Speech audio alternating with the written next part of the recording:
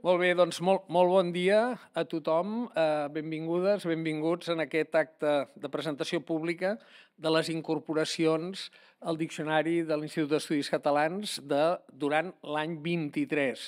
Ja des de fa uns anys, aprofitant la diada de Ramon Llull, eh, que s'escau enguany justament avui, el 27 de novembre, fem aquest acte públic eh, i eh, tot seguit ja eh, són accessibles les incorporacions que han estat treballades durant en diversos eh, trams de l'any, però durant tot el 2023. Eh, en concret, l'acte eh, anirà, tal com us diré ara, eh, tenim, eh, teniu aquí al davant eh, dos membres de la eh, filològica de l'Institut d'Estudis Catalans i també de la Comissió Lexicogràfica, que us en faran una exposició detallada de, tant de les incorporacions noves com de les modificacions de les ja existents, que són eh, la senyora Sandra Montserrat i el senyor Magí Camps. Eh, també excusa la seva presència la presidenta de l'Institut d'Estudis Catalans, na Teresa Cabré, i sí que hi assisteix en línia eh, el president de la secció filològica, el senyor Nicolau Dols, així com d'altres membres de la filològica, alguns d'ells aquí presents i d'altres doncs, connectats. Eh, després d'aquesta primera exposició, eh, farem, si teniu, un torn de, de preguntes, tant eh, els companys de premsa aquí presents com els que estigueu a través del xat, que ens estigueu seguint, i eh, la part final us hem reservat eh, per un parell de notícies, una de les quals ja us avanço que eh, serà la proposta de d'un petit concurs de microrelats amb algunes d'aquestes paraules, d'aquestes noves incorporacions i també eh, una presència d'una personalitat molt destacada que n'ha triat tres de totes aquestes incorporacions. Però això serà al final d'aquest acte. Ara, sense més dilació, passo la paraula al senyor Magí Camps i engeguem doncs, l'exposició de les incorporacions. Magí. Gràcies.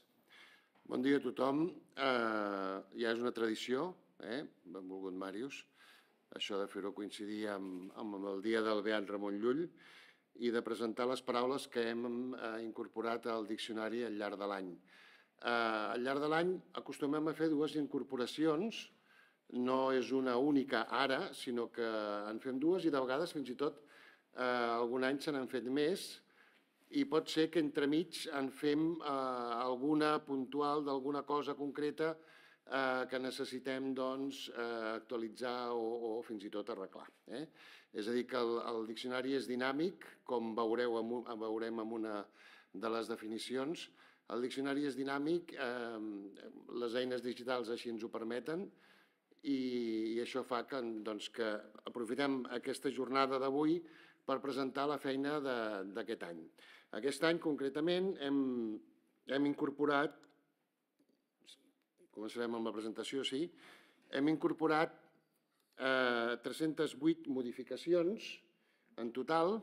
Fixeu-vos que parlem de modificacions perquè no tot són eh, paraules que no hi eren i que ara hi són, sinó eh, que algunes de les paraules que hi eren doncs els hi hem eh, assignat nous, nous significats que no estaven definits, on hem fet matitzacions o hem fet mm, algunes, alguns canvis que hem considerat oportuns. Eh, això fa que fins i tot mm, paraules que ja teníem doncs, que han guanyat nous significats i veurem alguna que fins i tot el significat original ja no es fa servir i en canvi només es fa servir amb el significat nou, doncs és important que això el, el diccionari en línia de l'Institut d'Estudis Catalans, el DIEC, doncs així ho reflecteixi. D'aquestes 308 modificacions tenim 30 articles nous, i 278 articles ampliats o modificats. Eh, ja sé que és difícil, però no hauríem de parlar de paraules noves. Sí que són noves al diccionari, però evidentment no són paraules que nosaltres ens haguem tret de la màniga ni de la butxaca, sinó que són paraules que eh, ja es feien servir i l'única cosa que fa el, el diccionari, l'Institut d'Estudis Catalans, a través de la secció filològica, és eh, introduir-les al diccionari, fer-les normatives, perquè considerem, en aquesta tasca notarial que ens pertoca, considerem que ja estan eh, ben sentades en l'ús i com que estan ben assentades, doncs ja poden formar part del diccionari. És a dir, no són paraules passavolants, no són paraules que potser eh, d'aquí un temps es deixaran de fer servir i hauran perdut aquell drink que tenien, sinó que són paraules que ja fa temps que, que s'usen i per tant ja tenen la categoria d'entrar dins del diccionari. Veiem d'aquests 30 articles nous que s'han fet entre el maig i el novembre, en veurem ara algunes, alguns exemples, com per exemple la primera, que és la donassa. Aquí al meu costat tinc Sandra Montserrat, que és una donassa. Direu, és menuda? Sí, perdona la broma, però és així.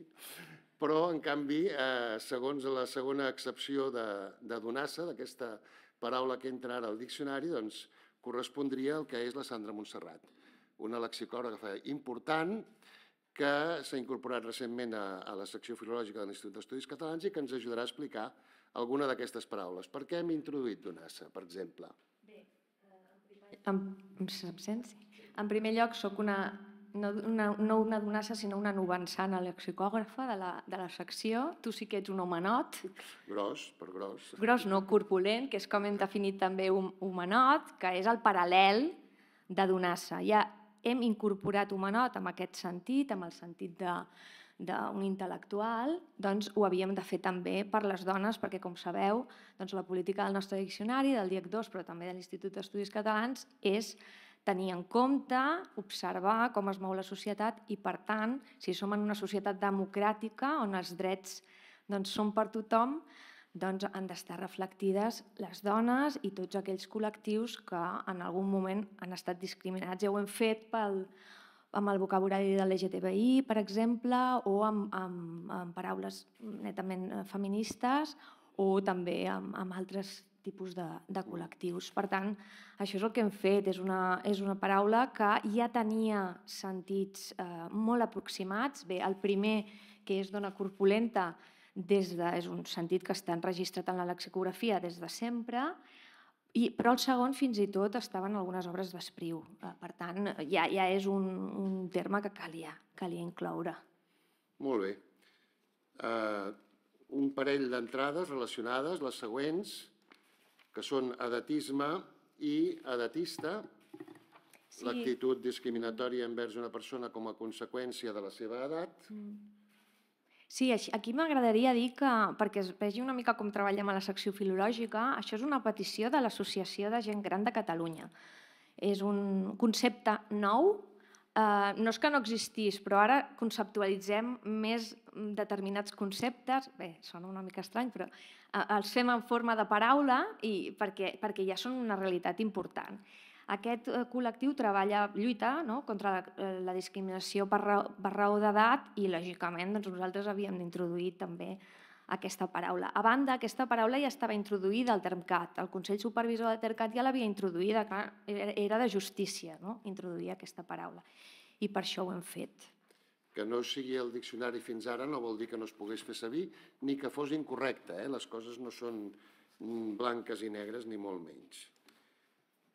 Gentrificació i gentrificar. Dues paraules que em sembla que no cal que les definim mm -hmm. perquè les patim, sobretot la gent de les grans ciutats i no tan grans, perquè jo, per exemple, visc a Elx, i, i ja és una ciutat molt gran, i ja comença això de la gentrificació, és una ciutat turística, com també Alacant, i per tant, doncs, ja sabeu que passen, eh, passa que es transforma el barri, però es transforma d'una manera que expulsa les persones que no tenen el nivell adquisitiu d'aquells que venen que tenen un nivell adquisitiu eh, alt.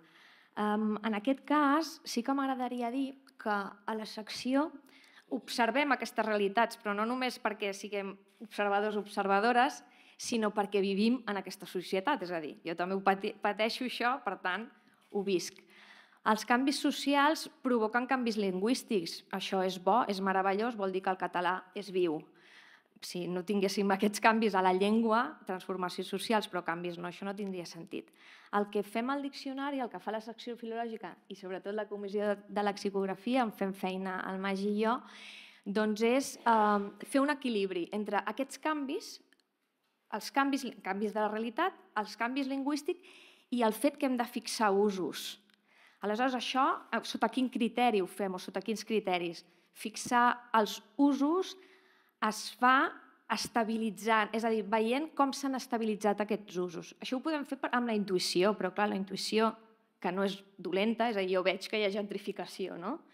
però no podem, no basta, no, no podem tenir prou amb la, amb, la, amb la intuïció. El que fem és mirar um, els corpus que tenim, a veure aquest ús, si ja està força avançat o no, els diccionaris de les altres llengües, que han fet les altres llengües també. Per tant, partim d'una intuïció que és som a la societat, però hem de veure si aquest ús està estabilitzat o no. I és el que provem de fer a la secció. Va, que la següent és més, és més focada. Hacker, un anglicisme. Doncs sí.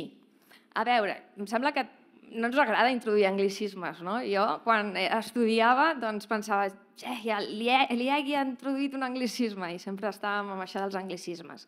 Però és veritat que això, aquests, aquestes introduccions ens permeten entendre també com fem la feina. A veure, eh, aquest anglicisme tenia una proposta anterior, que era, segur que la coneixeu, coneixeu que és furoner, furoner, furonera, que és preciosa, és una metàfora espectacular, no? el furó, aquestes taulletes de les, de les xarxes. Però ja el Consell Supervisor del Termcat i l'Observatori de, de, de, de la Llengua ja, ja, ja es va veure cap al 2017 que això no usava ningú, malauradament, malauradament. I quan passa això doncs, s'han doncs, de prendre decisions i els especialistes en la matèria ja ens van dir que l'opció mm, que, que corria ja, això no té d'aturador, doncs és el, el hacker. I per què està marcada amb anglicisme? Perquè, de fet, és que és un anglicisme. I s'ha de pronunciar I... amb l'H aspirada. Exactament. No està naturalitzada com podrien estar naturalitzades moltes de les paraules que ja corren. En aquest cas no, no és així. En canvi, quan hacker vol dir pirata informàtic, pirata informàtic sí que ha tingut un cert èxit. Es diu hacker també, però també es diu pirata informàtic. Per tant, nosaltres hem de dir, doncs, donem suport pirata informàtic perquè, de fet, ha triomfat mm. força. Molt bé. I això. Betlem. Mm. Ara que s'acosten les festes de Nadal. De Nadal. Aquestes són les paraules que a mi més m'agraden, eh? també t'ho he de dir, perquè són les paraules que ens cohesionen com a territori. Doncs eh, bona part del territori, el País Valencià, bona part de les illes, doncs diuen Betlem, el que per aquí es diu pessebre. I clar, era una miqueta estrany, estrany que no hi fos al diccionari. Per tant, doncs ara que ve Nadal, doncs ja tenim el Betlem aquí. M'imagino que el poseu a les cases i tot això, allà també ho fem, al País Valencià. Doncs si algú vol posar ja un, un diec allà al pessebre o Betlem, doncs ja serà normatiu, no? Ja serà, efectivament. Es diu Betlem Vivent, per exemple. Ara en posen molts, no?, d'aquests. Molt bé, aquí tenim una corrua eh, hem posat aquí primer quatre eh, amb les definicions, anauenc, anoienc, franjolí, garrafenc, que són naturals de diferents comarques, relatiu a pertanyent a la comarca o a la zona, i encara n'hi ha uns quants més, que ja no he posat totes les definicions per no atabalar, però que les podeu consultar, després ja diré on és tot aquest material. Eh, què ha passat amb aquests gentilicis? Com és que n'entren tants? Doncs mireu, això em serveix molt, m'aprofita per, per explicar com funcionem dins de, de la secció filològica. La secció està, eh, té subcomissions o comissions. És a dir, nosaltres fem el ple tots els mesos, el ple de la secció filològica, però durant el mes treballem, fem feina dins de comissions. En aquest cas, jo sóc a la comissió de lexicografia, però eh, hi, ha, hi ha altres membres que són a la comissió d'onomàstica. I aquestes comissions estan harmonitzades. Significa que quan hi ha cap canvi, cap proposta a la comissió d'onomàstica, doncs després ha de passar també per la comissió de lexicografia. I la comissió d'onomàstica va fer un acord en relació amb eh, gentilicis de comarques que no hi eren i per tant ens van fer aquesta petició i nosaltres vam estudiar aquests gentilicis i es van introduir. M'agrada fer referència, si pots passar la... Sí m'agrada fer referència doncs, que eh, hi ha entrat Saforenc, de la Safor, que és del País Valencià, i també hi ha entrat Pitius i Pitiusa, que eh, és curiós perquè no és exactament comarcal, sinó que mm, s'usa per eh, fer referència a realitats conjuntes d'Ibissa i, de, i de Formentera, i m'han xiulat que, que van ser uns usuaris del paraulògic que van dir com això no, com és possible que, que no hi sigui. Doncs és veritat, tenien Doncs raó. ja la tenim. Ja la tenim. Que tu feies referència quan ens reunim, justament és en aquesta sala, que ens reunim la secció Mm. El filològica eh, un cop al mes i els lexicòrds ens reunim, amb, des de la pandèmia ens reunim per Zoom, eh? Sí. I així ens podem trobar tots els de tots els països catalans per, per treballar i això ho fem cada 15 dies. Molt bé, doncs seguim. Eh, Mm. arriba la birra. Bé, la birra, ja ho sabeu, eh? ha estat triat el neologisme de l'any 2022 en el concurs que convoca l'Observatori de Neologia de la Universitat Pompeu Fabra i la secció filològica de l'Institut d'Estudis Catalans. Per tant, doncs és un, mos, un mot que evidentment s'usa. De fet, hi ha gent que deia com això no, no hi era al diccionari, si sempre hem dit birra. Bé, què ha de fer el, el, la secció filològica, la Comissió de Lexicografia en relació amb aquestes paraules? Aquestes, aquesta paraula és una qüestió de, de registre i el català té registres. Evidentment, si no tingués registres, seria una llengua morta i és una llengua viva. Per tant, ens alegrem que hi hagi registres. Què hem de fer? Què ha de fer el diccionari? Orientar l'ús. Doncs birra és un sinònim de cervesa, però en un registre informal i s'ha de marcar. Això també és la nostra feina, també, orientar l'usuari. Birra no és un mot eh, estrany al català. Jo, per exemple, sóc de diacronia, la, la sincronia m'agrada molt, però estic més... El, el meu terreny és la llengua antiga, doncs és un, és un arca... vull dir que en època arcaica birra eh, existia. El que passa és que cervesa també existia, no? Per, per, pel llatinisme, que no era, tan, que no era llatí, i eh, van lluitar durant una època i birra va perdre. Cap al segle XIX aproximadament va tornar a aparèixer a Menorca birra, segurament pels napolitans, eh, pels venedors ambulants napolitans. I després eh, es fa molt, molt, molt potent aquesta paraula cap als anys 60. Bé, té un ús des de fa molts anys i per tant doncs, ja, ha, ha d'entrar-hi, però marcat, això sí. S'ha tornat molt europea, no? La Sí, birra. és cert. És una paraula, si més no internacional, a, a escala europea. Molt bé, ara passarem una mica, anirem una mica més ràpid, Sandra, amb Sí, els següents. disculpeu. Eh?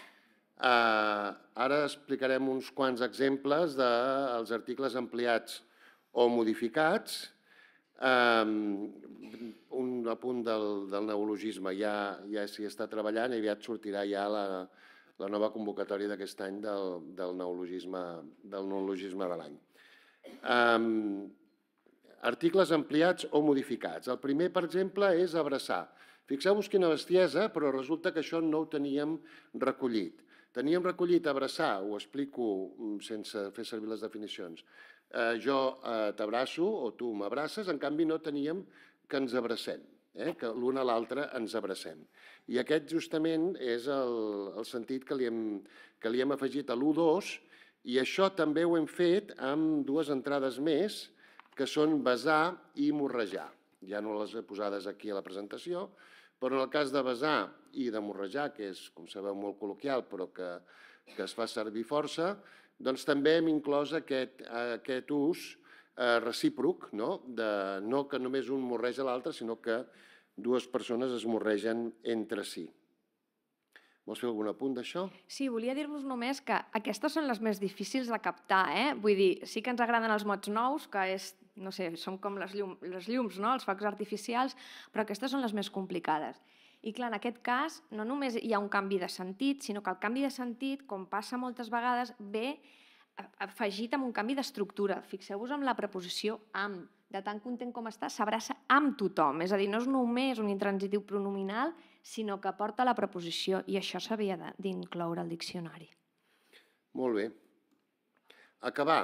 No he posat la llista sencera perquè acabar és una entrada, el verb acabar és una entrada molt llarga i només hi he afegit eh, l'excepció número 9, que és la nova, i que eh, incorpora un ús que fins ara teníem com a no normatiu, però que ara ja ho és. I per què és ara normatiu acabar amb, amb el sentit de liquidar, d'eliminar de, de, alguna cosa? A veure, hi ha mo moltes obres lexicogràfiques que l'introdueixen des de fa molt de temps. Eh, per exemple, ara m'he apuntat que fins i tot el Diccionari d'ús de verbs catalans, del Ginebra i Montserrat, eh, ja, ja introduïa aquest ús. Nosaltres, quan el vam estudiar, vam veure que ja fa més de 100 anys que s'usa això, i a més per autors molt importants com Uller, Espriu, Sagarra, Triadú, Monzó, Pla. Clar, davant d'aquesta també d'aquesta petició i tenint en compte que té un, una base lexicogràfica ferma i també una base de corpus d'autors ferms, doncs cal introduir-lo. Teníem una definició més o menys científica d'aeròbic, llavors vam començar a fer gimnàstica aeròbica eh, amb l'Eva Nassarre i ara resulta que ara fem exercicis aeròbics, és a dir, que tenim una excepció més que és la que hem afegit en, el, en la segona posició d'aeròbic. Sí, l'únic que si em permeteu un apunt, si no estem avorrint-nos, espero que no, perquè per mi és apassionant això, espero que per vosaltres també. Això és la introducció només d'un ús adjectiu, sembla poca cosa, però clar, qui no diu ara exercici aeròbic? No? Jo, per exemple, faig boxa i és un exercici aeròbic i estem tot el dia que és un exercici aeròbic. Eh? Però a banda és molt interessant perquè, no, ho sabeu, nosaltres fem diverses obres aquí a la casa, no? I també fem el DIEC, que ara ja el teniu publicat, i quan es, es feia feina sobre el DIEC, eh, el DIEC serveix també per veure paraules que no hi són o sentits que no hi són, que no són el, el DIEC 2. I per tant el que hem fet és harmonitzar el DIEC amb el DIEC 2. És una feina que encara no ha acabat, però és, és una feina que es fa, que fa també la secció lexicogràfica perquè tots els diccionaris de la casa siguin coherents i estiguin harmonitzats. Ara tradueixo, eh? Ah. Diccionari DIEC, Diccionari Essencial, Essencial. de l'Institut d'Estudis Catalans, i DIEC, el Diccionari Normatiu per excel·lència, que és el que avui, est, de, de, el que avui estem parlant, que és el Diccionari de l'Institut d'Estudis Catalans. Dins de l'Institut tenim molts diccionaris. Mm. Eh, el DIEC és el normatiu per excel·lència, és el d'ús el d'ús general, no ho abasta tot ni molt menys, però hi ha d'altres eines com el, com el DIEC, com el Diccionari Essencial o el Diccionari Descriptiu, que acaben de conformar moltíssimes coses que, que no poden estar només al DIEC, perquè el DIEC ha de ser un diccionari, diguem-ne, eh, fàcil de, de, de consultar i sense un accés d'entrades, perquè llavors seria, seria com, jo què sé, com l'enciclopèdia catalana, no? Hauríem d'anar amb els no sé quants volums a sobre, que ara ja ningú els vol. Seguim. No t'enroquis, Sandra. Sí, bé, aquest és un ús nou, mm, eh, intransitiu pronominal, i per tant cal introduir-lo. És com el que hem vist abans, eh? són aquestes petites qüestions. No té massa, massa història, per dir d'alguna manera. Ambre. Ambre ho teníem definit com la resina i en un cas concret l'ambre gris, que és una concreció intestinal del catxalot, eh?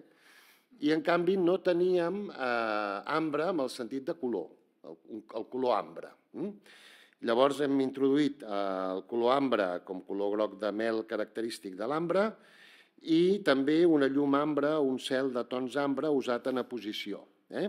És invariable, com molts colors, un cel de color taronja, no diem de color taronges, eh? no fem aquests plurals, Eh, I això que he fet, hem fet amb ambre també ho hem fet amb maragda i amb turquesa. Mm? Aquestes dues pedres, doncs, també que estaven definides només com a pedres, doncs ara també estan definides com a colors, color maragda i el color turquesa. Vols dir alguna cosa d'aquesta? Aquí podríem dir que conjuminen dues qüestions. La primera, que vivim en una societat consumista i això també es nota i no sé si us heu pintat el pis fa poc, però jo sí, i has de triar entre colors que semblava que no existien, no? Doncs això passa. I una altra cosa que em sembla interessant és com conceptualitzem els colors i sempre ho fem d'aquesta manera metonímicament. No? Per exemple, groc, groc significava safrà. En realitat, doncs el color del safrà. Doncs ara hem fet el mateix. El color de l'ambre doncs, dona nom al color i és com conceptualitzem els colors. Beligerant.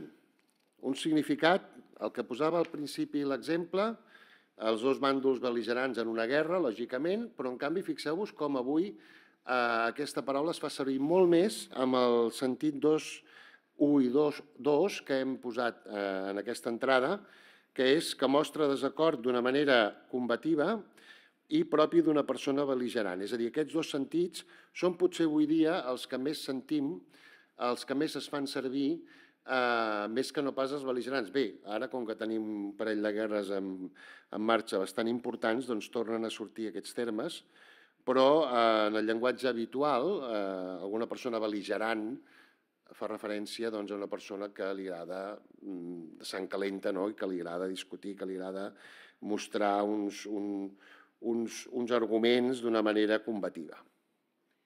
Sí, són les meravelles del, del llenguatge periodístic que el que fan és moltes vegades millorar una paraula. Es diu millorament, nosaltres li diem millorament.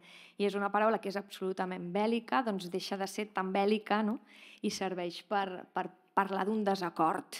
I efectivament doncs, és un ús molt documentat i per tant doncs, hem pensat que, que tocava.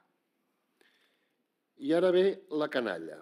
Aquesta paraula tan contradictòria perquè en ella mateixa i amb una mateixa etimologia resulta que vol dir dues coses contràries, no? la mainada i la persona capaç de cometre els actes més reprovables. I en, i en segona excepció dos, gent dolenta, menys preable. Però fixeu-vos com aquestes, eh, aquestes dues excepcions, la segona amb dos subexcepcions, ara resulta que en té Quatre. Quatre. Eh, no ens movem d'on érem. L'única cosa que especifiquem amb molt més detall tots aquests significats. Fins, fins i tot l'últim, que és el dels castellers, el pom de dalt, la canalla, eh, que formen, si no m'equivoco, de memòria els dosos, eh, l'acotxador i l'enxaneta, oi? Eh, sí, eh, perdó, l'aixecador. Eh, dosos, aixecador i enxaneta. Eh, Sí, això que has dit que, que és estrany, no? que sigui positiu i negatiu. Però és que els gossos, aquesta paraula de cá, els gossos sempre han despertat metàfores positives i metàfores negatives. La positiva és la de la canalla, és un conjunt de gossos petits, no? és, és la, la part positiva, eh, humorística, per dir-ho d'alguna manera. Per exemple, en anglès es diu, es diu kids, no? que és una cabreta, un, un cabrit. Doncs és, el mateixa, és la mateixa història, totes les llengües pràcticament fan el mateix. I en aquest cas el que hem fet és ampliar, és a dir, és, és agafar un altre sentit positiu que té aquesta paraula, que és caracteritzat per certa picardia, insolència, és aquest to humorístic, que és un sentit que ja es troba en francès, en castellà, etc i que el català ja està documentat també des de fa molt de temps. I la següent no feu cas, que ara m'adono que hi ha un error aquí, locucions afegides, ah, sí. no feu cas d'això. Aquí ha de dir articles ampliats, ara ho volia canviar però amb el mòbil no, no me'n surto. Uh, és un article ampliat, eh? són articles ampliats, després veurem locucions. Uh, a carpeta hem afegit el sentit 2, que és el sentit uh, que té avui dia en els, en els ordinadors, conjunt de fitxers informàtics agrupats sota un mateix nom, etc etc. I a col·locar hem afegit el sentit de, amb el sentit, fixeu-vos que té la marca de popular, aquest pop punt, no és que sigui una cançó pop, sinó que ve de popular, un ús popular, una droga, l'alcohol o una altra substància produïen alguna alteració de la consciència i de l'estat d'ànim, un parell de pipades ja el col·loquen, i la 3-2, experimentar una alteració de la consciència i de l'estat d'ànim per efecte d'una droga. És, és el mateix, però en, en, en el primer cas és un verb transitiu i en el segon cas és un verb intransitiu pronominal. Són usos diferents del mateix verb, amb uns sentits semblants, lògicament. Sí, doncs ja ens podem col·locar perquè ja la tenim al diccionari, ja corria, ja hi era, però l'institut el que ha de fer és orientar aquest ús. Lògicament és una, és una paraula del registre informal i cal, cal marcar-la. El diccionari també ha estat modificat, la paraula diccionari. Eh, és, una, és una modificació mínima, però és una modificació que, que explica molt bé els, el signe dels temps. No? Fixeu-vos que teníem en l'excepció 1.4 diccionari electrònic, diccionari en suport informàtic. Molt bé. Era una excepció a banda, a banda del que havíem entès tota la vida com un diccionari. Avui dia, quan parlem de diccionari, eh, la majoria de, de la ciutadania pensa en un diccionari electrònic. Ja no pensem en diccionaris en paper, o si més no, si pensem ja és com secundari, i per tant, dins de diccionari, de l'excepció 1.1, tenim obra que recull els mots d'una llengua, els termes d'una ciència, etc etc.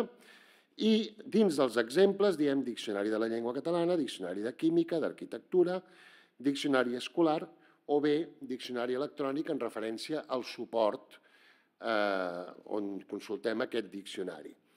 Eh, què vol dir? Que dient diccionari ja, ens estem, ja estem fent referència al diccionari electrònic. I aquesta modificació que hem fet a l'entrada de diccionari també l'hem feta a edició Sí, però llavors m'haig de torçar i tinc el micròfon així. Uh, la tenim a edició i la tenim a publicació, edició electrònica i publicació electrònica.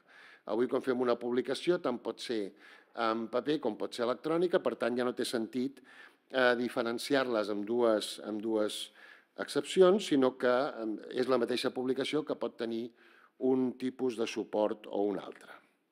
Vols dir res? Nous temps, doncs les paraules canvien. Esclau, esclau, esclava. I hem afegit la quarta excepció, fixeu-vos que la quarta anterior s'ha desplaçat a la cinquena, i és que requereix dedicació gairebé exclusiva. És un, és un significat que ja s'entenia per la paraula mateixa, però que no el teníem definit i per això ara l'hem inclòs, que, re, que requereix dedicació gairebé exclusiva. Aquest negoci, negoci és molt esclau. Jo, si hagués de fer ara la definició, posaria el teletreball és molt esclau per posar-nos encara més al dia, però clar, això del teletreball pot ser que passi de moda. També amb la qual cosa més val posar definicions que perdurin uns quants, uns quants anys. Sí, és una manera també, ja us dic, d'harmonitzar el diccionari, l'essencial de la llengua catalana, que ja l'havia incorporada i, per tant, doncs nosaltres també, i tant. Escorre. A l'excepció quarta estava definit com tenir un orgasme.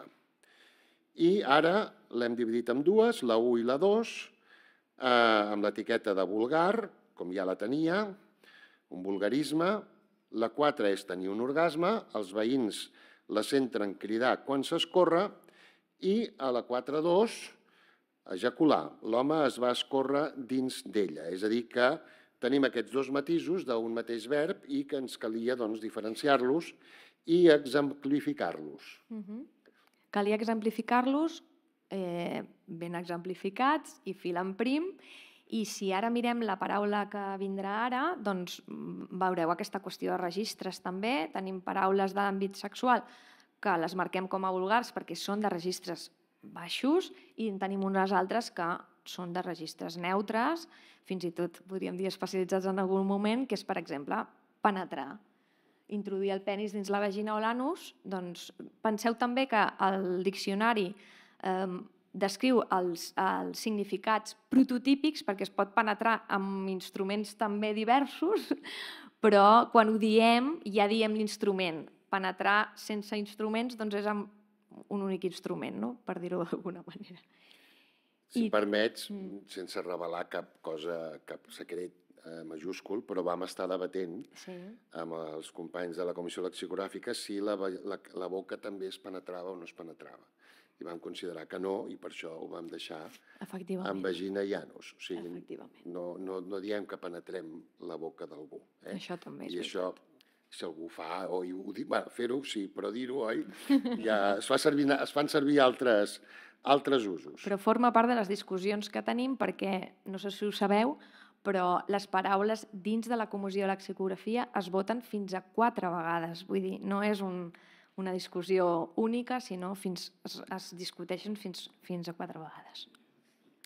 I a l'excepció 3 tenim una idea o un producte, fer-se lloc progressivament, la marca nova ha penetrat amb força en els mercats. És un ús verbal que es fa servir molt en, en publicitat i en, en màrqueting i aquestes coses. Karaoke. Fixeu-vos que teníem activitat lúdica que consisteix a cantar en públic i ara aquest karaoke l'hem triplicat. Mm. Eh? S'ha triplicat com la Santíssima Trinitat perquè no només és l'activitat lúdica, sinó que també fa referència a l'aparell i, en tercer lloc, perquè és l'establiment públic on vas a fer un, a cantar, eh, amb el karaoke. Per tant, ha calgut desdoblar-la, triplicar-la, perdó, mm. eh, en aquest cas.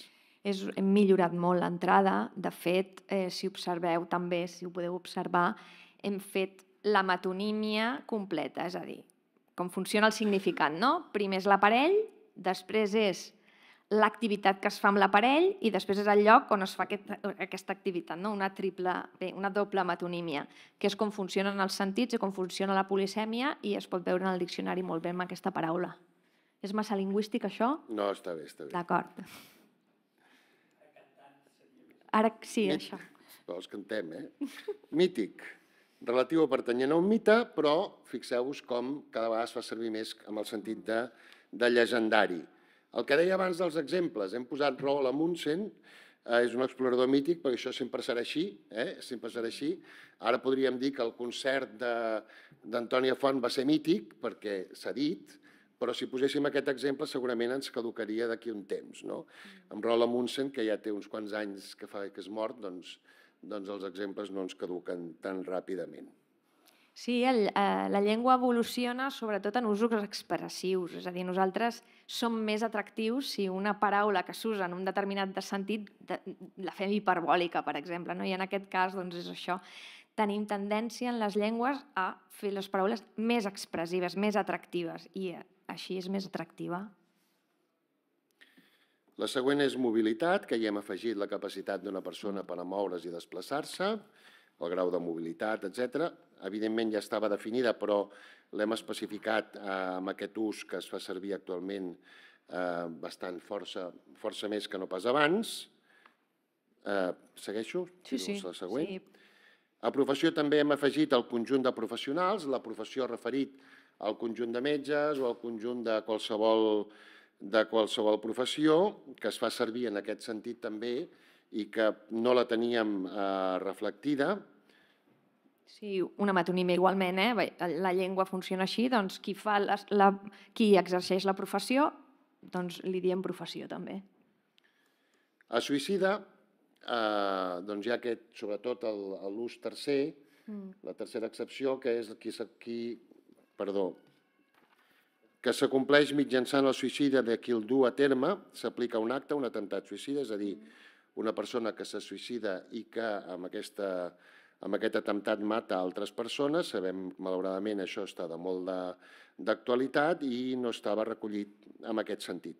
Evidentment que amb el que teníem ja s'entenia, però considerem que també aquestes coses han de quedar, han de quedar reflectides. Sí, hem de filar prim perquè no és igual una persona que es suïcida que un atemptat suïcida. Un atemptat suïcida, l'atemptat no se suïcida, evidentment, no? Són aquestes metonímies, com hem explicat abans, que fan totes les llengües, però que s'han d'incloure al diccionari, és clar. És filar prim, això, però és com es fa.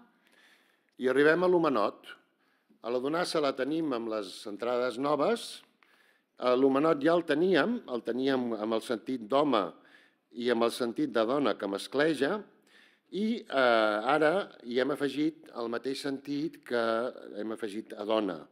Eh, en aquest cas, la tercera excepció, home, sobretot de l'època contemporània, significat per la seva aportació intel·lectual, artística o cívica. Joan Fuster fou, sens dubte, un homenot valencià del segle XX. Aquesta entrada és molt interessant perquè s'han modificat moltes qüestions. Per exemple, dona que mascleja, doncs, com ja us he dit abans, la política ara del diccionari de ser normals en la societat que som, democràtica, doncs dona que té aires d'home, dit sovint despectivament. És a dir, aquestes paraules es marquen perquè l'usuari sàpiga que això és dit despectivament. I després, el cas d'home, sobretot, sobretot de l'època contemporània, aquest sobretot de l'època contemporània és important perquè de moment no sabem si passarà o no en el moment que la paraula s'escampi encara més, no es diu del Joanot Martorell, que era un homenot. Això no es diu, es diu de les persones d'època contemporània. No ho sabem, eh, si això arribarà, però en principi no es diu. Per tant, ho hem matitzat. L'ús que en feia Josep Pla, eh, amb els seus homenots, etc. Gladiador no tenia femení, i ara en té. Mm. Per què? Doncs perquè es veu que també hi havia gladiadores. Mhm. A l'antiguitat romana, persona que combatia amb una arma, fixeu-vos que ja no és un home, sinó que és una persona, eh, amb una arma en públic per a divertiment del poble, i a l'exemple aprofitem per il·lustrar que hi ha estudis que demostren que a l'antiga Roma hi havia combats entre gladiadores. Efectivament, eh, n'hi havia, ho hem estudiat, està, està estudiat, hi ha tesis sobre aquest tema i, per tant, lògicament, hi havia de ser. Marit i muller. Vinga, Sandra. Bé, la societat canvia, lògicament, mm, la llengua canvia i nosaltres som testimonis d'aquests canvis i d'aquests usos i, per tant, els hem d'incloure. Ara mateix un marit no és només un home casat respecte a la seva muller, si és un home casat respecte al seu cònjuge. Per tant, Joan, que no em presentes el teu marit, és lògicament possible, cal introdu introduir-ho dins de, de la normalitat de la societat que tenim, lògicament. dona- I, i i muller exactament igual. Passa el mateix amb, amb mosso, que ara tenim mosso i mossa amb aquest sentit de persona que fa les feines menys qualificades. I a la quarta excepció, fixeu-vos que teníem jove que ha de complir el servei militar, el servei militar ha passat a la història, per tant, jove que havia de complir el servei militar. Mm, Senzillament actualitzar aquesta entrada amb un ús que ja no, que ja no es fa servir. Si mai torna a haver-hi servei militar, doncs ja la tornarem a posar en present. I llavors vés a saber com se'n dirà dels Mossos, o dels quintos, o del que sigui, no? Sí, és una manera de fer que es fa habitualment, regularment, de mirar si hi ha anacronismes dins del diccionari. És aquest cas. I la basca, va, que aquesta sé que t'agrada. Aquesta m'encanta. Bé, la basca ja feia temps que això hauria d'haver estat dins del diccionari perquè la basca és, com es diu, a la meitat del territori catalanoparlant la xafogó. I clar, no podia ser que no hi fos. L'Observatori de, de, de la Llengua, de la Qualitat de Lingüística de l'Institut d'Estudis Catalans ja ho va observar i doncs, ja l'hem introduïda. És una paraula molt interessant. Aquí, si no recordo malament, es diu venir basques, Mm -hmm. no es, diu una tenir, cosa. no es diu la xafogó la basca, però es diu venir basques perquè basca ve de huasca i huasca significava uh, una pressió, angoixa, no? Venir basques és això, no? Com Mareig, mareig o una o cosa així, una- una doncs d'aquí després el que provoca la calor doncs és exactament això, no? I per tant, és com es diu xafogó a la resta del territori que no és Catalunya i és de justícia també. I acabem ja amb les, amb les locucions. Mm. Eh? Amb les locucions mm, n'hem posat uns pocs exemples.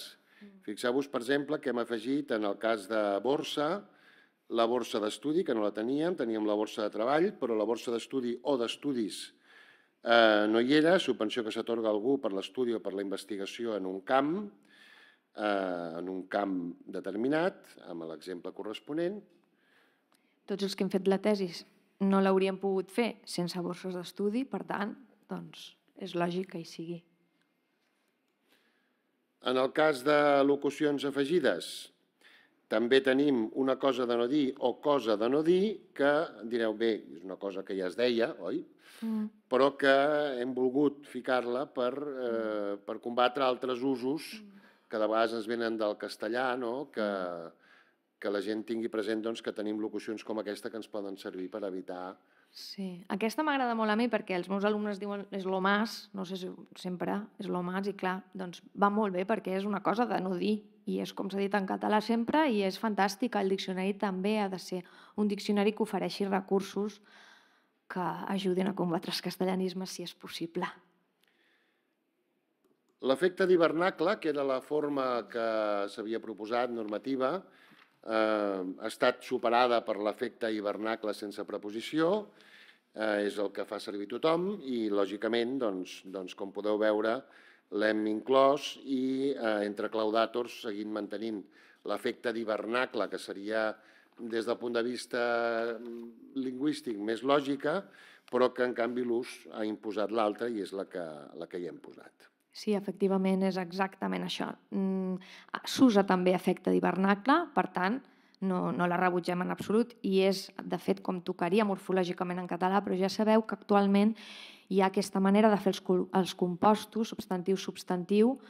Penso ara en efecte placebo, per exemple, i doncs, això va, va a la carrera i en aquest cas, doncs, tot i que l'op- l'opció que s'havia proposat anteriorment eh, funciona, funciona només relativament i els especialistes ens van demanar que hi fossin les dues almenys.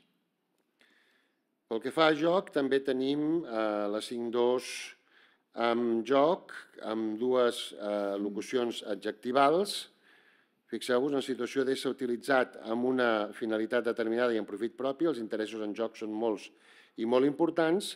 I la, cinc, la última, que jo penso que potser és la que avui es fa servir més, en una situació crítica.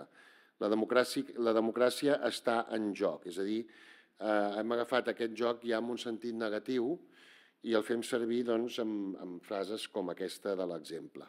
Aquests fenòmens són molt interessants en frasiologia perquè eh, tenim construccions que se saturen, que es queden només amb un verb i, i en, en aquest cas posar en joc, però passa que passa el temps i de les dues parts d'aquesta aquest, locució, en joc és la més interessant per l'usuari i aleshores comença a posar-la per tot. I és el que li passa ara mateix en joc i per tant l'hem de separar de posar. I això també doncs, és filar prim, mm, em sembla a mi, no? A xec hi hem afegit la 3, el xec en blanc, la A, i el xec en blanc, la B, amb dos sentits diferents. El xec en blanc amb el sentit recte d'un xec signat en què l'expedidor no especifica la suma a pagar, aquest és el sentit recte, és a dir, d'on ve l'expressió, i eh, en el cas B, l'autorització donada a algú per actuar lliurement en un assumpte. És a dir, m'han donat un xec en blanc per fer aquesta presentació amb la meva companya i fer-la com a nosaltres ens hagi semblat doncs, més adient. No? Doncs sí, esperem que ho hagin Després fet bé. Després explicaran el crostó, però ara Això, sí, de moment... efectivament, de moment. Doncs el xec en blanc és interessant perquè eh, les, les, el, la font de creativitat lèxica no sempre és igual en, en totes les èpoques. En època antiga era l'agricultura, la religió, és la que, la que feia totes les locucions, no? I ara doncs, és l'economia i n'hi ha moltes d'aquest tipus. Aquesta és curiosa perquè xec en blanc d'aquí quatre dies els joves no saben d'on ve. Això de No sabran xec què en és un blanc. Veritat? No Hi ha moltes xec expressions que fossilitzen coses que han desaparegut, és clar. No sabran què és un xec. De fet, jo fa molts anys que no en veig cap. Ja, ja, ja tot, va, tot va a través del banc. Oi? Molt bé, aquí tenim un parell. Oncle i tia. Referit sobretot a, a l'exemple, l'hem triat com a exemple, no tant el 2-3, sinó el 4, l'oncle valencià, que estava definit com cosí del pare o de la mare, i que ara hem afegit a Catalunya, lògicament. O sigui, al País Valencià no parlen d'un oncle valencià, perquè s'estarien referint a ells mateixos. No? Hem afegit la localització de Catalunya, que és on es fa servir aquesta expressió, perquè si no, no té sentit. Eh? Un oncle llunyà, una tia llunyana.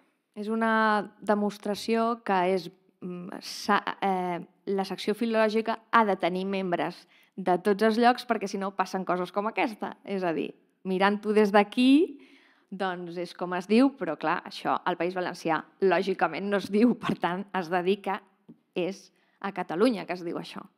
Doncs això, anem, anem millorant, a poc a poc. I l'última. A llengua hem introduït llengua de signes, llengua natural de signes gestuals i de percepció visual que utilitza els gestos de les mans, de la cara i d'altres parts del cos, així com l'espai com a sistema de comunicació. I la llengua de signes catalana, perquè sabeu que la llengua de signes, cada llengua, o sigui, cada llengua, llengua té la seva llengua de signes pròpia, el català té la seva, el francès té la seva, l'italià té la seva, i eh, en el cas del català, doncs, la llengua de signes catalana és la llengua de signes pròpia de la comunitat de signants de Catalunya i Menorca, sigla LSC. Fixeu-vos que eh, amb aquesta entrada, amb aquesta locució, també hem afegit, això són afegitons, el verb signar i el participi signat, adjectiu, i hem afegit eh, expressar-se mitjançant una llengua de signes, un ús que cada vegada es fa servir més. L'intèrpret signa molt de pressa, és a dir, està fent servir la llengua de signes d'aquesta conferència molt de pressa. És un curs per aprendre a signar contes, no a posar-hi la teva signatura, sinó a explicar contes amb llengua de signes. I en el cas del participi adjectiu, expressat mitjançant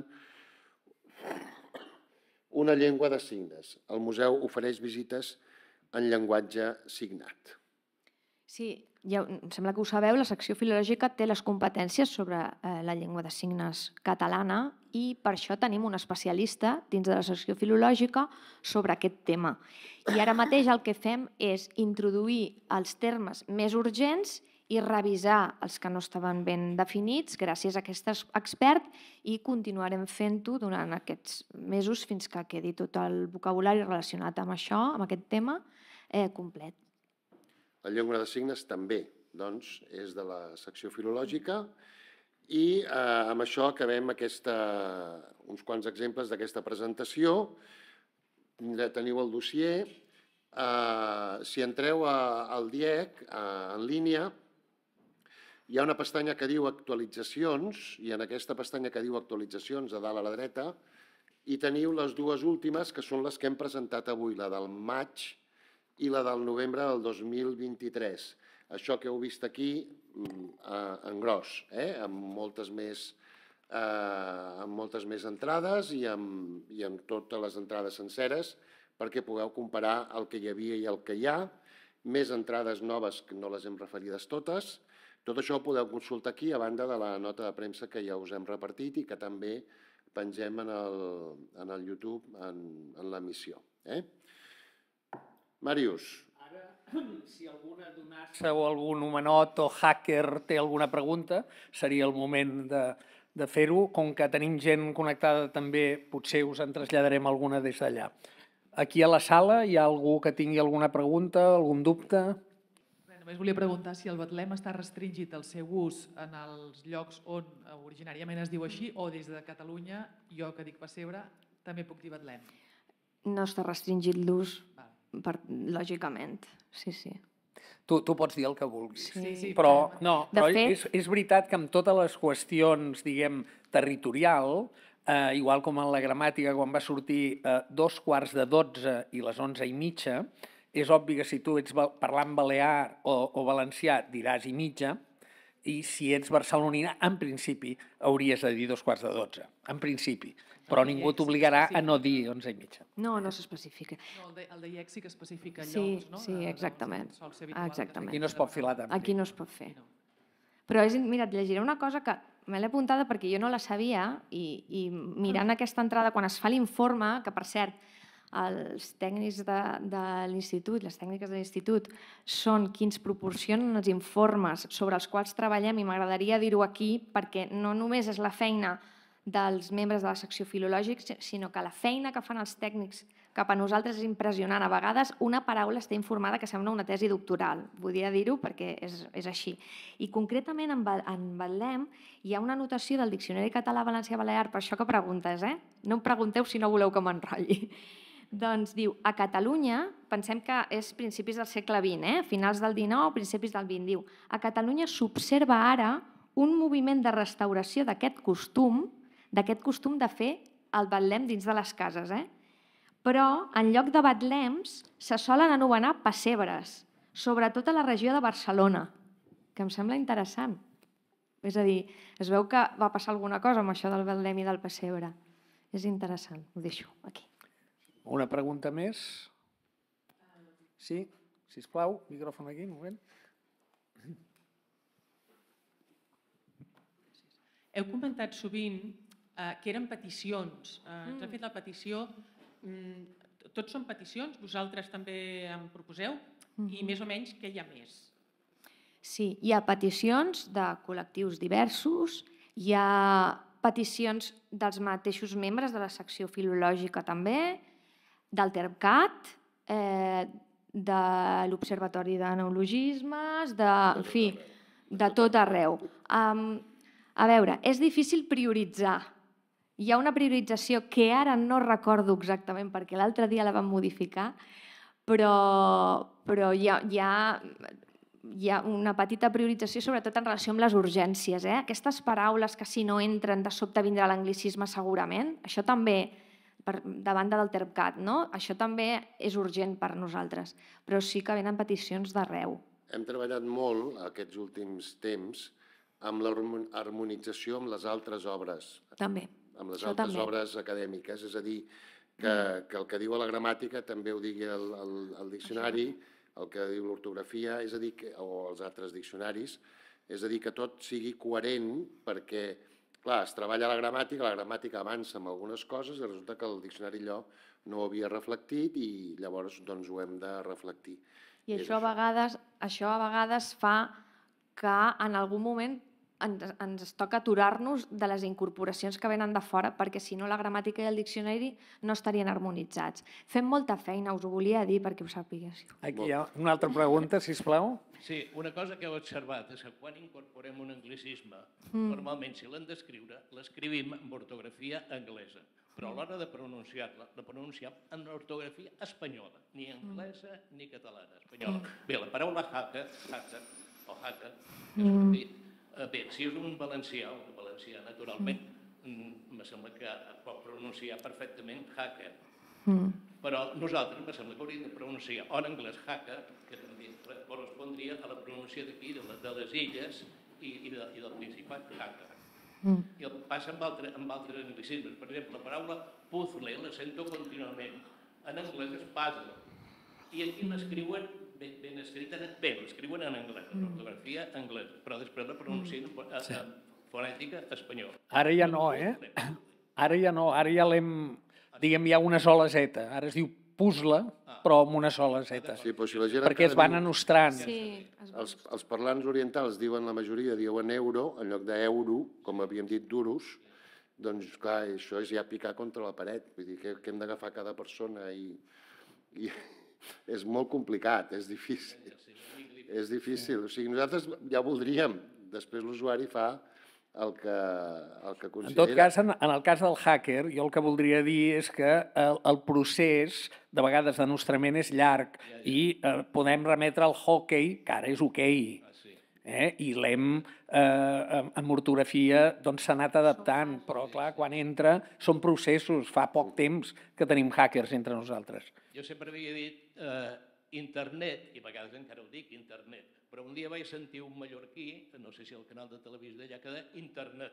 Vaig dir, aquesta és la manera que jo ho he de pronunciar. Esclar, Certament, certament. esclar, internet, i, i, i jo diria a meu oberta, internet, ho dic a meu oberta. sí, l'última és oberta en anglès, doncs això ho hauríem de traduir en, en, Correcte. en, en neu. Sí. Molta, moltes gràcies. Alguna pregunta més? O hi ha alguna pregunta des de fora, oi, Anna? Si us plau, si la pots traslladar. A la NUS que demana, obre cometes, el museu ofereix visites en llenguatge signat? És correcta la paraula llenguatge? Perquè per llengua oral o llengua escrita es fa servir llengua. Ara no ho recordo, la veritat. L'exemple és així. Sí. L'exemple és així. Sí, eh, eh, si està posat és perquè ho, hem, eh, ho vam aclarir a la, a la secció i es considera sinònim, sí, sí. Això no patiu. Si està posat és perquè eh, de totes les discussions i l'informe es va arribar a la conclusió, sí, sí. Sí, l'exemple és sí, aquest. Ben observat, sí. En llenguatge signat, sí. Sí, efectivament. Molt bé. És com dir... Perquè és llenguatge com lliure, dir- llengua tindrà eh, És com dir l'excepció. en llenguatge oral o en llenguatge escrit, és a dir, Sí. amb, amb una de les Estarà agafat amb, versions, la, amb aquesta amb una de les excepció. versions d'expressar aquest, aquesta llengua, no? Mm, La llengua catalana la pots expressar en llenguatge oral, escrit o signat. sí. Hi ha alguna pregunta més eh, exterior, Anna? No? Tinc, Alguna una, pregunta tinc un més aquí a anunci, la sala? tinc un anunci Molt bé. que, que se m'ha se m'ha passat abans, que també és important. Uh, des de divendres, en el diccionari, en línia, uh, a cada verb teniu un botó per consultar la conjugació completa de, dels verbs. Gràcies pels aplaudiments. No, Ovació! Era- eren ovació. així, eren eren de- així tots, eren així tots. Bé, si no hi ha cap més pregunta, passaríem a la part aquesta final que abans us havia anunciat, eh, i és que d'una banda, ara veureu aquí en pantalla un microrelat que eh, hem, eh, diguem que proposem a tots els eh, eh, que proposarem per xarxa amb cinc d'aquestes noves incorporacions, cinc d'aquestes paraules. Tenim molts escriptors a la secció filològica i eh, podíem haver buscat eh, molts autors, però ens hem decantat per un anomenat intel·ligència artificial. Li hem proposat aquestes cinc paraules de birres, donassa, hacker, gentrificar i edatisme, i eh, bé, se n'ha sortit d'aquesta manera que eh, podeu jutjar vosaltres mateixos entre birres artesanes i riallades, la donassa del barri, hacker dels seus somnis, va decidir gentrificar la monotonia, va desafiar l'edatisme creant un espai on tots podien conèixer el gust lliure de la vida. Això a mi com a escriptor em resulta molt gratificant perquè trobo que és una... diguem, no sap què volen dir aquestes paraules perquè gentrificar la monotonia, diguem, eh, seria un concepte interessant. Sigui com sigui, poesia pura, és prosa poètica. Eh? Eh, en tot cas, eh, sí que convidem com a mesura de, de donar a conèixer aquestes incorporacions des de la, les xarxes i des d'aquí a que eh, en un màxim de 280 caràcters els eh, lectors i els seguidors puguin fer la seva pròpia aportació. I l'última cosa que us havia dit abans és molt breu, només dura 5 segons i eh, la tirarà quan jo li faci el 3, 2, 1. Hem buscat una persona eh, molt significativa i que per tots nosaltres sigui un veritable referent i li hem demanat que triï tres d'aquestes noves incorporacions i això és el que ha passat. Gentrificació. Birra. Donassa ha triat aquestes tres, és Pompeu Fabra, des del seu despatx aquí a l'Institut d'Estudis Catalans, òbviament també utilitzant les mateixes eines d'intel·ligència artificial, concretament un programa es diu ID, eh, i, en fi, eh, aquestes han estat les seves tres paraules triades. Nosaltres venim, ens, ens enamora el vell i, i també el nou, venim d'una línia molt llarga, però com a, essa, com a llengua viva que som, eh, i d'una manera bastant simbòlica, el DIEC, el diccionari que ho recull i que ve d'aquesta tradició, intenta anar-se adaptant, com ha estat aquí abastament eh, demostrat amb, amb molts exemples, a els canvis de la realitat que no deixen de ser el reflex del llenguatge i viceversa. Per tant, eh, el català és una llengua viva i per això eh, es, va, es va mantenint i va evolucionant. Moltes gràcies a tothom per la vostra atenció. Teniu, i crec que ja us ho han dit, a tota disposició tota aquesta informació i, en tot cas, ens teniu a nosaltres aquí també. Gràcies i fins l'any que ve també per la Diada de Ramon Llull.